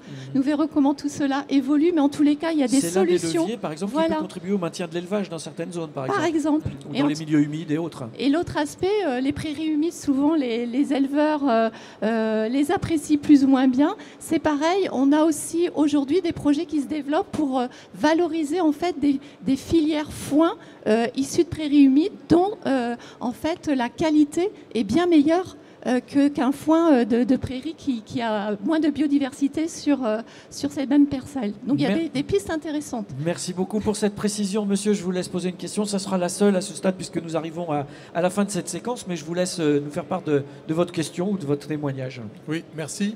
Euh, Bertrand Montfort, je suis correspondant régional de CEBIOS, qui est Centre d'études et d'expertise en biométisme. et nous avons travaillé récemment sur la question de l'interaction entre la richesse des écosystèmes et la capacité d'épuration des milieux naturels. Or, dans les exposés qui sont faits, finalement, il n'est pas évoqué cette question du niveau de, pollution. Et si on parle d'agriculture, et je pense en particulier à l'Aveyron, dans les zones où il y a beaucoup d'élevage, il y a bel et bien euh, la question de l'entraînement, notamment des nitrates. Et donc, il y a à, l'interface entre les questions de comment éviter les inondations, comment euh, calibrer et, former euh, les, écoulements naturels et les améliorer, et puis aussi comment gérer cette charge de pollution en valorisant les services écosystémiques euh, que euh, des écosystèmes très riches peuvent aussi euh, assurer. Et là, je pense que c'est un avantage aussi pour les agriculteurs, pour la population. Et je pense que voilà, je, serais tenté de proposer d'élargir encore la réflexion qui a été amorcée sur cette table ronde. Merci. Merci monsieur pour ces propos complémentaires qui vont donc conclure cette première séquence consacrée à, à, notre sujet. Ça passe très vite, j'en suis conscient. Vous êtes vous avez maintenant identifié nos, intervenants. Si vous souhaitez les rencontrer tout de suite après, vous pouvez maintenant les aborder directement dans la salle où je, leur propose, de regagner le temps pour moi d'accueillir les trois autres invités de cette session, de cette conférence, qui vont nous parler également euh, d'intégration euh, des solutions d'adaptation euh, fondées sur la nature dans la planification. Pour ce faire, j'accueille Sophie Gallo-Lebrou, qui est directrice du syndicat mixte du bassin de la Goutte. Madame Michelle Youn, qui est présidente de la commission des milieux naturels du comité de bassin Adour-Garonne, et Monsieur Eric Cadoré, qui est président de la commission sectorielle eau et prévention des risques à la région Occitanie-Pyrénées-Méditerranée. Voilà, merci mesdames, merci monsieur Cadoré pour votre euh, présence. Madame Gallo-Lebrou, sans transition et sans autre euh, introduction de ma part, je vous laisse nous décrire la démarche d'intégration des solutions d'adaptation fondées sur la nature que vous avez portée dans le cadre d'un SAGE, euh, celui du bassin de la Goutte. Oui, merci. Euh, bonjour à tous. En effet, euh, déjà en, propos introductif, j'ai qu'une diapositive qui est celle du, bassin de la goutte et de sa, euh, place dans, dans Adour-Garonne, j'allais dire. en bas, vous avez le bassin Adour-Garonne et le bassin de la goutte, c'est la, limite. En gros, c'est un, des nombreux châteaux d'eau de la Garonne et on est à la ligne de partage des eaux entre la Méditerranée l'Atlantique. Et euh, si on reprend les, premières cartes qui vous ont été présentées en tout début de, session, la partie rouge, c'est chez nous. Voilà. Donc on est l'entrée de la Méditerranée. Et euh, en titre d'exemple, euh, ces deux derniers week-ends, il est tombé plus de 400 mm d'eau sur les sources du, du Toré et de la Goutte. Donc on a eu les deux épisodes Cévenol de la même façon que l'a subi euh, nos, collègues de Hérolté euh, de la même manière, mais peut-être pas forcément avec les mêmes conséquences, puisque depuis 2013, sur ce grand bassin de 3500 km, les élus et la commission locale de l'eau ont fait le choix de mettre une stratégie basée sur euh, une adaptation ou en tout cas euh, de prendre en compte dès le, premier sage qu'on a en, cours de révision euh, le changement climatique, qu'est-ce que ça signifie sur notre territoire et comment on s'adapte. Et c'était euh, vraiment la, clé de voûte déjà du, premier sage, même si on n'avait pas de données, on n'avait pas tout l'apport que nous a amené le plan d'action changement climatique d'Adour-Garonne. on, on, pressentait voilà, cette arrivée. On a une grande particularité, donc on a un, château d'eau. Quand on dit on est un château d'eau, il tombe environ 1400 mm d'eau sur la partie montagne, donc la partie la plus marron de notre territoire. Ce, territoire, c'est euh, environ un tiers couvert par des zones humides. Mais quand on parle des zones humides, des 60 hectares, pour nous, en fait, une zone humide, en moyenne, elles font 1, 1,5 hectare. Voilà, c'est euh, une mosaïque de zones humides. Euh, entouré euh, d'un massif forestier, hein, la montagne noire et, euh, la montagne du Cidobre.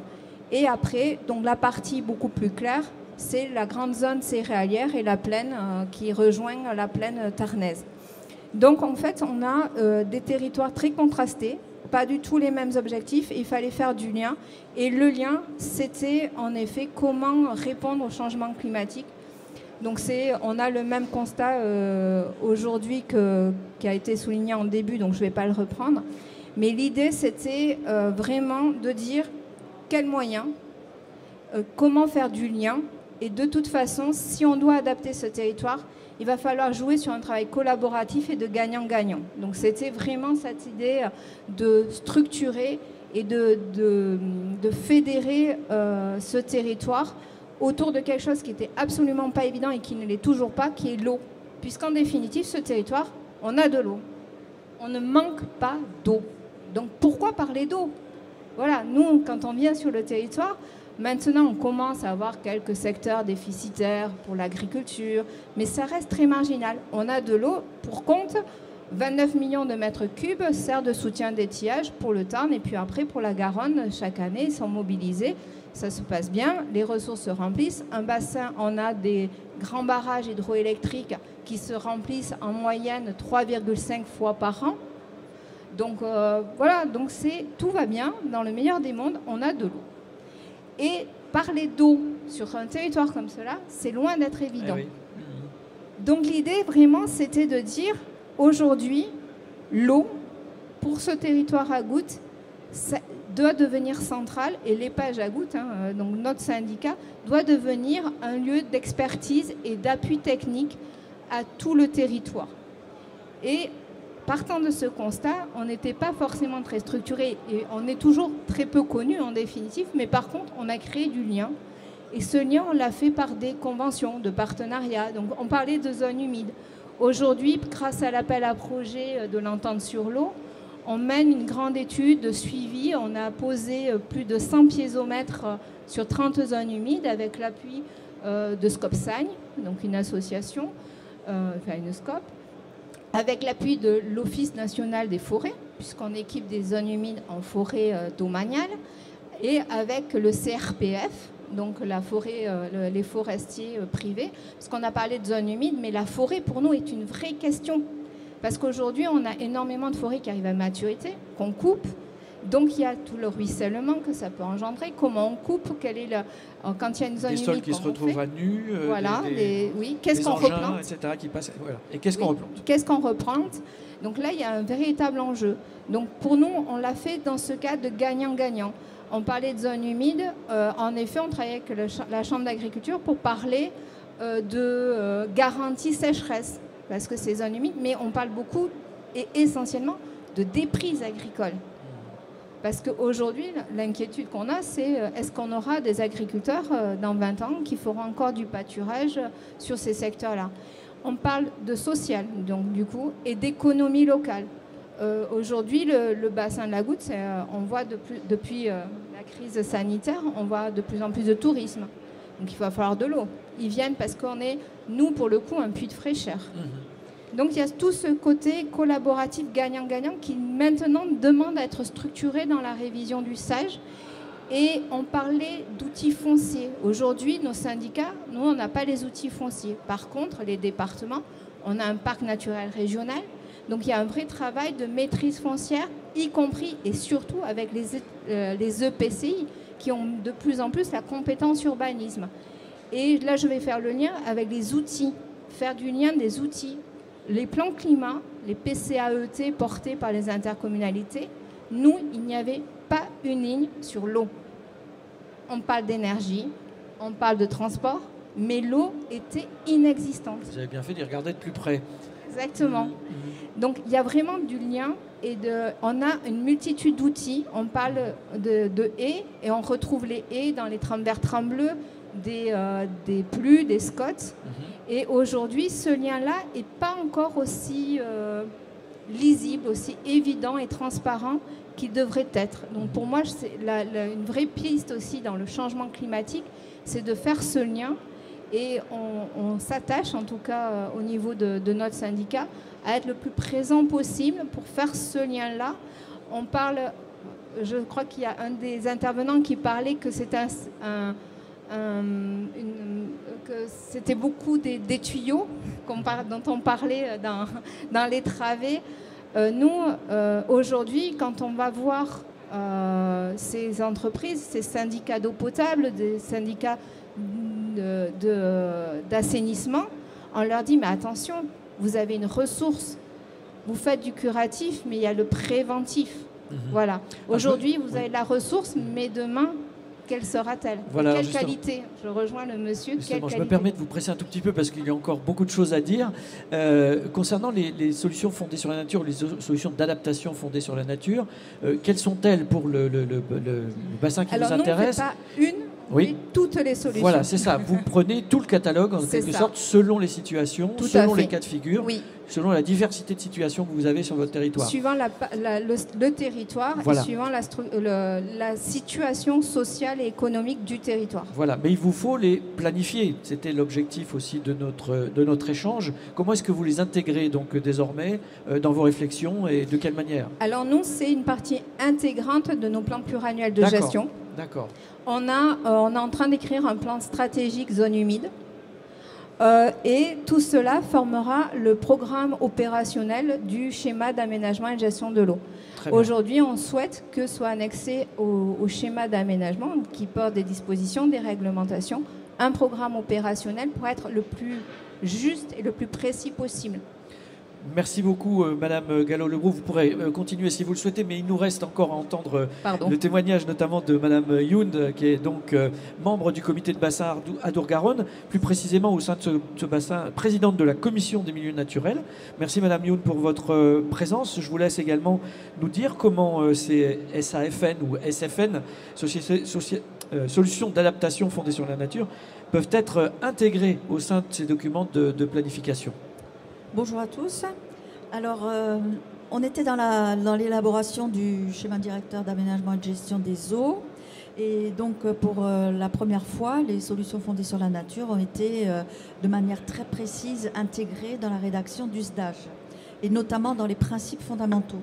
C'est-à-dire qu'on va être, on va être très clairement, on va prendre en compte, on va dire, les solutions fondées sur la nature euh, dans les objectifs de ce stage. Voilà. Très bien, mais je vous laisse euh, continuer si vous voulez nous expliquer comment ça va se passer euh, techniquement par la suite pour les acteurs concernés. Alors pour la commission milieu naturel que, pour laquelle je, que je préside, le président du comité de bassin a mandaté la commission milieu naturel pour créer un groupe de travail sur les solutions fondées sur la nature. Donc, euh, bien sûr, on a, on a accepté. Et il a euh, explicitement demandé de mettre en évidence euh, les intérêts de ces solutions fondées sur la nature, d'objectiver en fait les, les bénéfices de, ces, de, ces, S- de ces SFN pour pouvoir, on va dire, faire passer le message à tous les acteurs du territoire et notamment du comité de bassin, l'intérêt financier, technique de ces solutions fondées sur la nature. Voilà. Donc le groupe est aujourd'hui euh, constitué. Euh, nous avons fait très attention à ce que ce soit un groupe euh, euh, hétérogène et qui prenne en compte l'ensemble des acteurs euh, euh, de, la société, c'est-à-dire qu'il va y avoir les, associations de protection de la nature, il va y avoir les collectivités, euh, l'État et bien sûr les agriculteurs et euh, les industriels. Parce qu'il est important pour nous d'avoir la, la voix et, et le retour de ces différents acteurs pour pouvoir proposer quelque chose euh, qui tienne la route et qu'on ne puisse pas non plus nous, nous dire ah ben non, ben ça, ça va pas marcher chez nous. Non, mais si ça marche pas, dites-nous-le dès le début, pourquoi, Mhm. et on va essayer de, trouver, de lever en fait les, les, Les les freins, freins, ouais. et de trouver les leviers euh, possibles pour pouvoir lever ces freins. Donc euh, on a une période de, de deux ans et demi, à peu près trois ans pour réaliser euh, euh, ce, ce travail. On va travailler également en étroite collaboration euh, avec le conseil scientifique du comité de bassin, avec les scientifiques parce qu'il y a déjà beaucoup de recherches qui existent.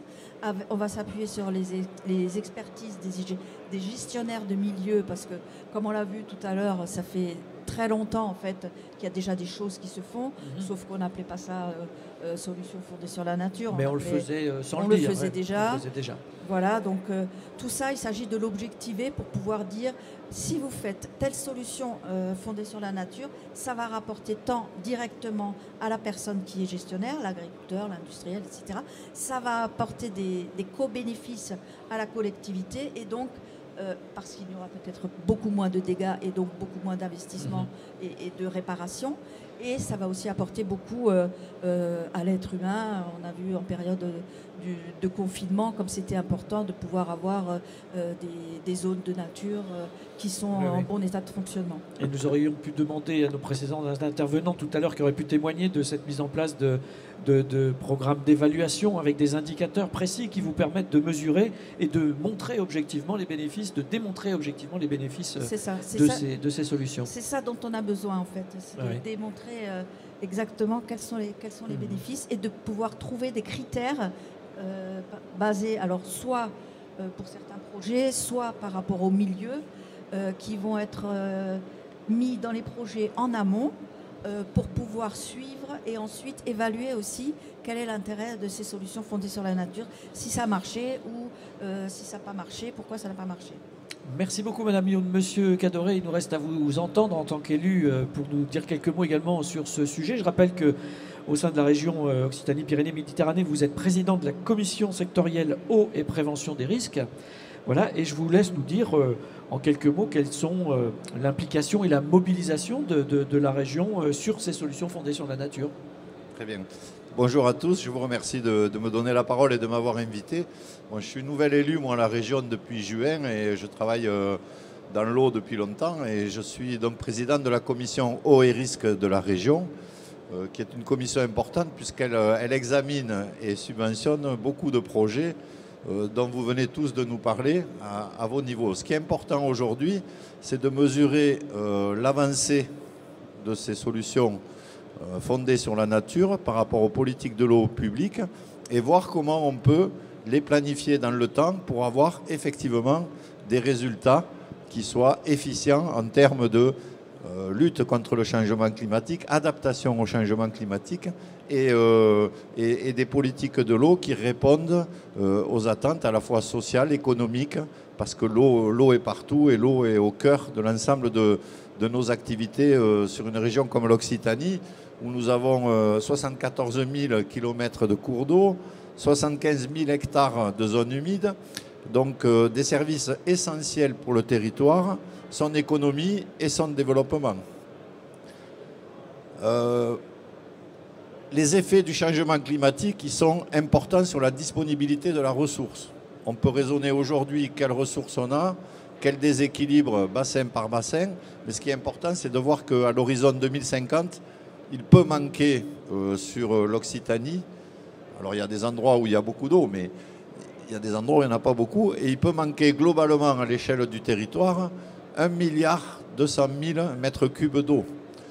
Euh, on a un plan d'action aujourd'hui qui est travaillé entre les différents partenaires, l'État, l'agence, euh, l'OFB, les, syndicats, les, structures et la région essayent de faire un peu le- l'ensemblier de toutes ces politiques.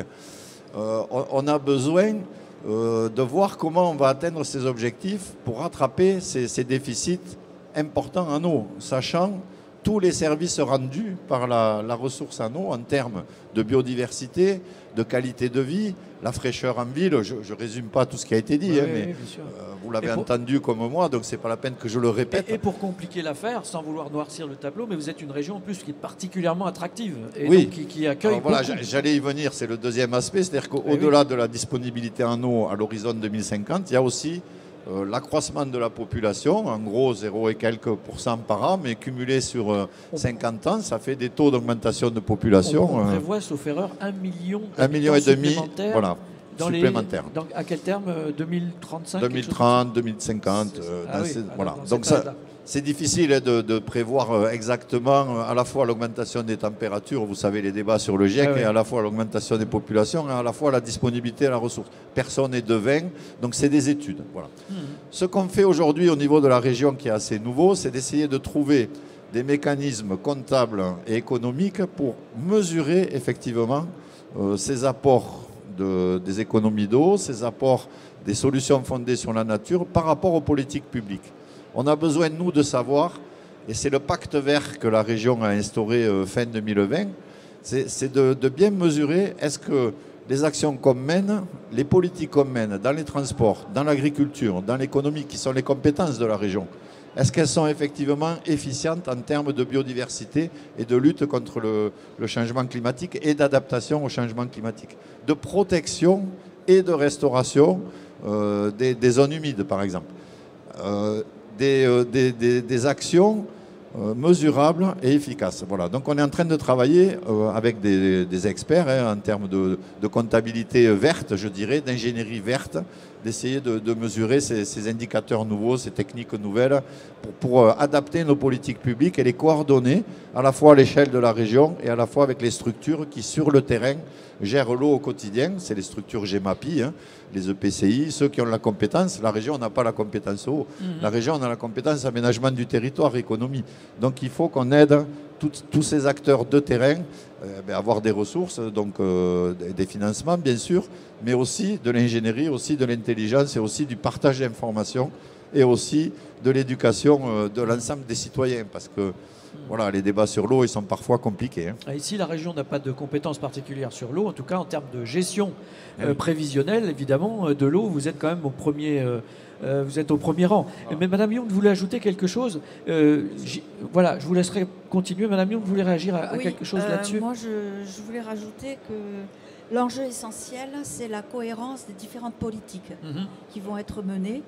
Euh, C'est-à-dire qu'on ne peut pas, euh, d'un côté, continuer à dégrader des écosystèmes et de l'autre côté, euh, essayer de, euh, de, de restaurer euh, des écosystèmes et de mettre en place des solutions fondées sur la nature. Tout ça, ça doit être cohérent. Mhm. Et donc, c'est- l'intérêt un petit peu du pacte vert dont parlait, euh, dont parlait monsieur tout à l'heure. Ensuite, je voulais rajouter euh, autre chose, c'est qu'il faut absolument arrêter euh, de dégrader euh, les écosystèmes à l'heure actuelle. On est, on est dans un cas d'urgence. Euh, c'est Avant de réduire et avant de compenser, Avant de il faut surtout éviter de commencer à le faire. Voilà. Mm. Il faut travailler sur les économies d'eau, il faut travailler sur les solutions fondées sur la nature. Comme le disait euh, tout à l'heure quelqu'un, parce que c'est euh, c'est- la première des solutions. Il y a d'abord les économies, les solutions fondées sur la nature, et après, si nécessaire et si besoin, euh, d'autres solutions, plus d'ingénierie grise, on va dire. Et enfin, euh, pour rester quand même optimiste, euh, je voulais dire qu'on travaille pour l'eau, on va travailler beaucoup sur les, les zones humides. Donc on va avoir du stockage de l'eau, on va avoir de l'épuration de l'eau, on va avoir de la, de la biodiversité si on restaure tous ces, tous ces écosystèmes. Et l'intérêt de ces zones humides, c'est qu'en fait, comme il y a de l'eau, euh, elles réagissent très rapidement, Mhm. contrairement à, à des, à des prairies sèches. ou- voilà, donc ça veut dire qu'au bout d'un an déjà, on va avoir des résultats tangibles. Oui, oui, Et très donc bien. ça, ça c'est super intéressant. Surtout pour, encore une fois, pour le, le, le côté euh, euh, pédagogique de la chose, comme on le disait tout à l'heure, pour le, retour de ces indicateurs, Exactement. de, de ces choses concrètes qui sont perceptibles à court Voilà. terme et qui contribueront, euh, euh, qui participeront de la prise de conscience collective, en quelque sorte. Parce qu'on a besoin de Oui. cette appropriation. Merci beaucoup, Madame Youn. Oui, monsieur, euh, je, vous- je vous en prie. Juste, moi je trouve ce qui est très intéressant, c'est qu'on arrête de parler aménagement de territoire d'un côté et eau de l'autre. Voilà, il y a concertation. C'est une Ouais. concertation et c'est un tout. Et pour parler, euh, pour moi, je pense que l'essentiel, c'est que, euh, et c'est la, enfin, c'est la politique que mène à la Dour-Garonne et qu'on essaye de développer aussi sur notre territoire, c'est que la moindre goutte d'eau qui tombe mette le plus de temps possible à arriver à la rivière. Mhm. Voilà. Et quand elle arrive, elle soit de la qualité et en quantité qui permettent une vie aquatique et une biodiversité piscicole euh, rentable. Nous, on avait quand même la rivière la deuxième polluée, la plus polluée d'Europe. En- dans les années 80, on retrouve de la truite dans cette rivière. Ouais, voilà. Donc ouais. c'est le, me- le- peut-être le meilleur exemple qu'on ait, c'est que euh, la vie euh, et la biodiversité, elle peut vivre si on leur donne sa place. Donc c'est, moi je trouve que c'est très intéressant en effet d'arrêter de cloisonner et, Tout à et fait, de et de, de travailler réfléchir en, silo, C'est hein, ça, de exactement. fame- la fameuse réflexion en silo habituelle. Monsieur Cadoré, j'imagine que vous partagez ces, ces- ces recommandations, comme le proposait Madame Youn tout à l'heure, euh, qui disait que les, les solutions fondées sur la nature devaient être partie intégrante de la réflexion, partie intégrante des projets. Est-ce que c'est comme ça que vous les envisagez dans vos programmes de gestion prévisionnelle? Oui, absolument. Alors, bien sûr, je, je partage cette idée. Il faut, il faut renouveler la pensée de l'eau dans les politiques territoriales, dans les politiques publiques. Et il faut intégrer les solutions fondées sur la nature en élargissant leur conception. Il ne faut pas rester sur des notions limites, limitées. Euh, il faut les intégrer à l'ensemble des politiques.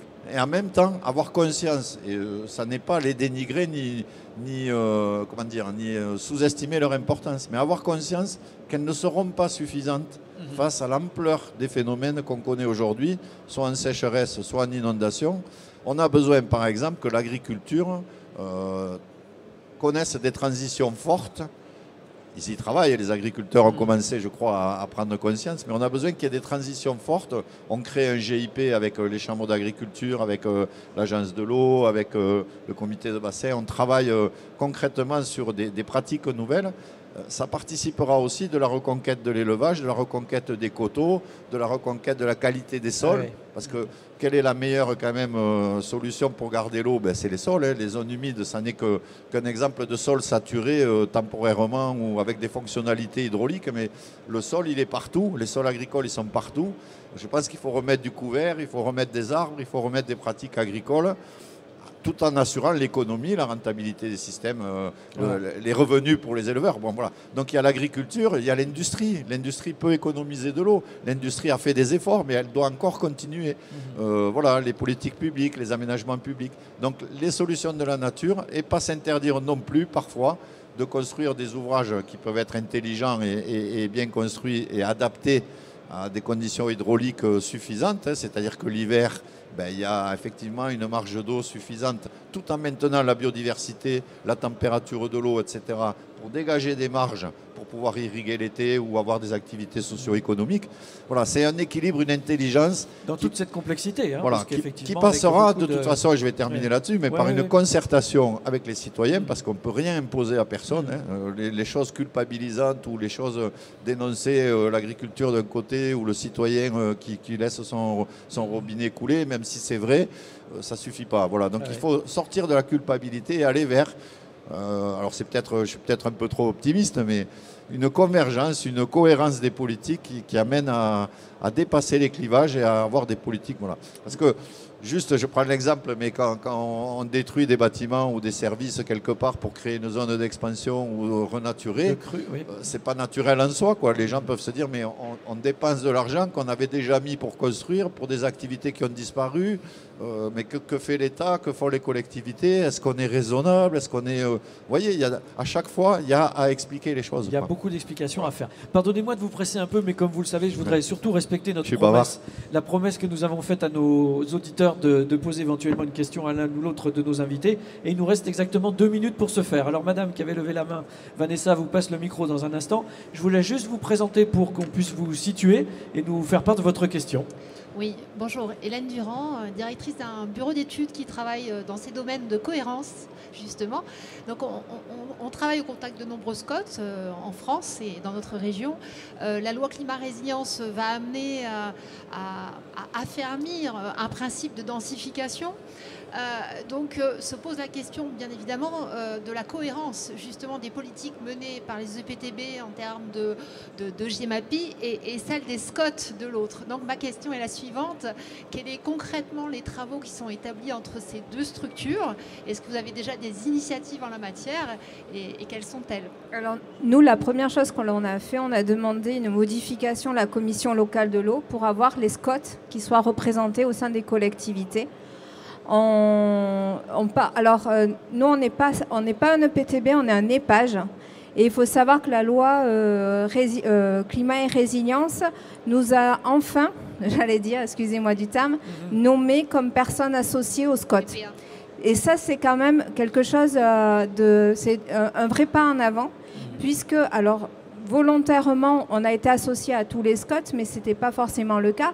Et on a. Alors, au-delà des SCOT, et c'est c'est les plus qui sont. Et les plus intercommunaux qui sont énormes et euh, très intéressants aussi sur nos territoires. Et j'irai même plus au-delà, c'est que nous, on a la chance d'avoir pu tisser des liens et aujourd'hui, on participe au schéma euh, d'assainissement, au schéma d'eau potable, au schéma d'eau pluviale. Et ça, c'est extrêmement important parce que lié, aujourd'hui, on a une zone grise, vous parlez euh, d'infrastructure grise, on a une vraie zone grise entre le tout tuyau, j'allais dire, et en effet, nous, on gère- vous parlez de couverts végétaux. On travaille énormément. On a une chambre d'agriculture euh, du Tarn qui est très ouverte et très, euh, très dynamique sur les, couverts végétaux, sur les plantations de haies, sur tout ce travail avec les agriculteurs. On a quand même une, chambre très à l'écoute. Et par contre, ben, on a cette zone périphérique euh, entre l'eau de ruissellement. Alors, on sait ce que c'est qu'un cours d'eau. C'est à peu près ce que c'est qu'un fossé agricole. On a les fossés de bord de voirie où on, arrive à travailler. Et puis on a cette zone intermédiaire où, pouf, on passe dans le tuyau d'eau pluviale ou, euh, ou de séparatif, etc. Et cette, cette cohérence-là, elle mérite d'être en effet posée, peut-être même réglementairement. je vous rejoins 5 sur 5 et je dirais que la composante de la GMIP dans les, dans les schémas d'aménagement pluvial, ce n'est pas encore tout à fait une réalité. Non, et puis c'est même pour nous, c'est très compliqué. Bien entendu votre message, madame. Je ne voudrais surtout frustrer personne, mais comme vous le savez, nous avons prévu un temps euh, pour euh, euh, imparti à cette conférence. Comme vous le savez, il y en aura d'autres cet après-midi et pour permettre aux techniciens qui travaillent pour nous euh, dans l'ombre derrière d'aller se restaurer dans les meilleures conditions, je vous propose de respecter euh, autant que possible. J'avais juste une toute dernière question pour Madame Youn, si vous voulez bien. Ce ne sera pas le mot de la fin, mais justement, on a évoqué à plusieurs reprises ces notions de compétences géographiques. Quelle est pour vous la bonne échelle géographique pour aborder cette euh, problématique des solutions fondées sur la nature? Alors, en fait, toutes les échelles sont bonnes. Hein. À partir du moment où vous prenez tout le catalogue et vous prenez ah bah, toutes les bonnes volontés, j'entends bien. À partir du moment où il y a une cohérence euh, d'action dans les politiques, pour moi, toutes les échelles, qu'elles soient locales mhm. ou qu'elles soient euh, régionales, euh, territoire, voilà, sont, intéressantes. Mhm. Après, il y a aussi une échelle de, temps, hein, mhm. parce qu'on va avoir des actions courtes qui vont pouvoir se réaliser très rapidement, qui existent déjà, on sait ce que c'est, techniquement on y arrive. Et puis après, il y a une échelle beaucoup plus. D'autres, euh, dont nous mesurerons les effets beaucoup plus tard. On va essayer beaucoup de voir si les écosystèmes peuvent être résilients, à quel coût, euh, à quel niveau, euh, voilà. Merci beaucoup, euh, Monsieur Cadoré. Merci, Mesdames Galou Lebro et Madame Youn. On vous applaudit également, comme nous l'avons fait pour les autres intervenants. Merci d'avoir bien voulu vous prêter à cet exercice particulièrement contraignant de nous faire part de ces messages en si peu de temps, puisque nous avons tenu euh, la demi-heure que nous vous avions proposée. Merci en tout cas pour vos messages importants. Bon appétit à toutes et à tous et à cet après-midi pour une prochaine euh, conférence. La prochaine démarrera à 14h précise, dans un peu moins d'une heure maintenant. Elle sera consacrée à la ville perméable. Nous parlerons désimperméabilisation. Euh, le deuxième mot le plus long de la langue française, mais qui comporte autant de syllabes que anticonstitutionnellement, pour information. Bonne journée à toutes et tous. 3, 2, 1.